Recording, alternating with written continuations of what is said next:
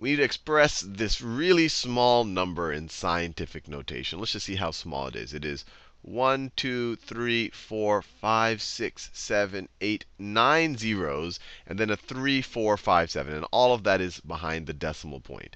Now, just as a bit of review about scientific notation, it means expressing a number in a form where it's going to be some number. You know, let me, let me, I'll just give an example. It could be, say, 5 times 10 to the fifth power. This would be an example of writing something in scientific notation. And when you write something in scientific notation, the number that you're multiplying by a power of 10, that number right there has to be greater than or equal to 1, and it should be less than 10. And of course, this right here is going to be a power of 10. So for example, if I were to write 5 times 9 to the fifth, not scientific notation.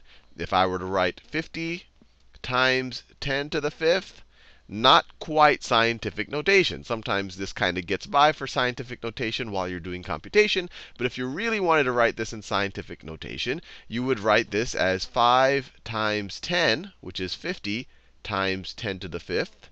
And 10 times 10 to the fifth is 10 to the sixth. So you'd write this as 5 times 10 to the sixth. So your goal is always for this number right here to be greater than or equal to 1, less than 10. Likewise, point if I wrote 0.9 times times 10 squared, once again, not in scientific notation. You would want to write 0.9 as 9 times 10 to the negative 1 times 10 squared.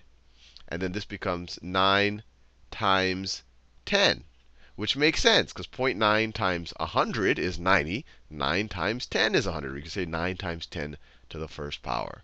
So that was a bit of a review. Let's do it for this problem right here. So in order, the, I guess a quick way to think about converting this to scientific notation, think about how many leading zeros there are, including the first non-zero number right there. So there are 10 digits to the right if you include this 3. You have 9 zeros, and then you have this 3. So a very quick way to do it, and I'll explain in a second why it works, is we could rewrite this right here as 3.457 times 10 to the, and remember, we had 9 zeros. 1, 2, 3, 4, 5, 6, 7, 8, 9. And then I count the 3, 10. So times 10 to the negative 10 power. And the reason why this makes sense is when you multiply something to a negative power, you, you shift the decimal over to the left. So you're going to have to shift the, this is essentially saying, let me write it this way. Start with 3.457. Start with 3.457. And when you multiply it times 10 to the negative 10, you're going to shift the decimal to the left 10 spaces. So if you shift the decimal to the ten, left 10 spaces, what do you get? So if you shift it once, twice, three, four, five, six, seven, eight, nine, ten.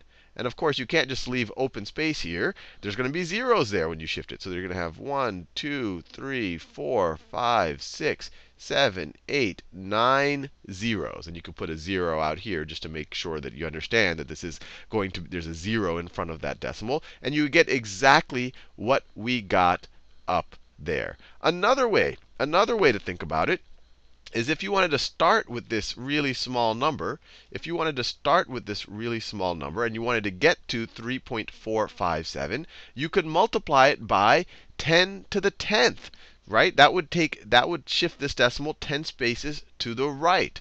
So you could do this. You could say you could say that 3. Point, and these are all the multiple ways of looking at the exact same thing. You could write that 3.457 is equal to this character, or I could even copy and paste this character, is equal to this guy. Let me copy and paste it. Copy and paste is equal to that guy times times times 10 to the 10th power, right? If you multiply by a positive exponent, you're multiplying by 10. Every time you multiply by 10, it shifts the decimal to the right. It makes the number bigger. So if you take if you multiply this by 10 to the 10th, this guy's going to move 1, 2, 3, 4, 5, 6, 7, 8, 9, 10. It would shift it right there, and you'd get 3.457. So that's the whole idea. That's three, this that 3.457 is this number times 10 to the 10th. So if you wanted to solve for this number, you would multiply both sides of this equation by 10 to the negative 10. So times 10 to the negative 10, or you, that's the equivalent of dividing by 10 to the 10th. So 10 to the negative 10th times that right there. These cancel out. 10 to the 10th times 10 to the negative 10th is 10 to the 0, or just 1. 10 to the 0th power is just 1. And you get this thing over here being equal to 3.457 times 10 to the negative 10. I just wrote it in a different order over here.